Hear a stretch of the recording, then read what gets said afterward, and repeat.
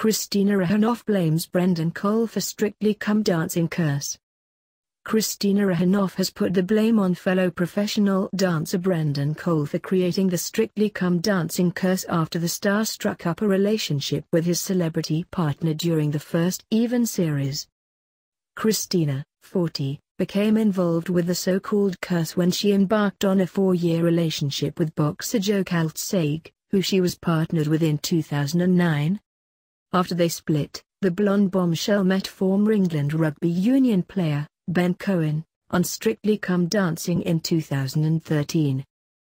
The dance partners, who now share a child together, denied their relationship began while Ben was still with his ex-wife Abby Blayney, who he divorced in September 2014. And since being linked to the curse, Kristina has now suggested Brendan was the source after his engagement to dancer Camilla Dallerup ended amid rumors of a romance with celebrity partner Natasha Kaplinsky during the first series. Discussing why relationships can end on Strictly Come Dancing, Kristina said, I think dancing is very intimate. You're in close proximity to somebody. For us, professionals, it's a job. We don't see anything weird or unusual. I think for the other celebrities who come on the show it's more difficult. I don't think you fall in love just because you dance together. For us it's acting. She added to Daily Mail's Weekend magazine, Brendan, I guess, is the one to blame for this strictly curse. The stunner also spoke about her disappointment after Brendan was recently dropped from Strictly Come Dancing.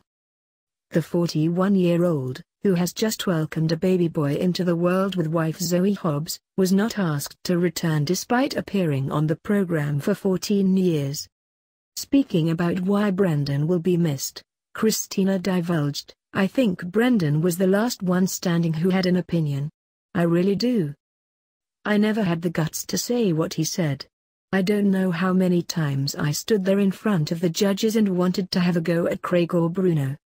I think in my mind it was, do I want to lower myself in a war of words? How is it going to come out? Am I going to look good? Kristina also opened up on whether marriage is on the cards for her and Ben after welcoming their first child, Mila, in July 2016. The blonde bombshell admitted a trip down the aisle will happen but she's currently focusing on her family unit. She spilled, it will happen. The most important thing to me is my family, my daughter, Ben, our family together, all the kids.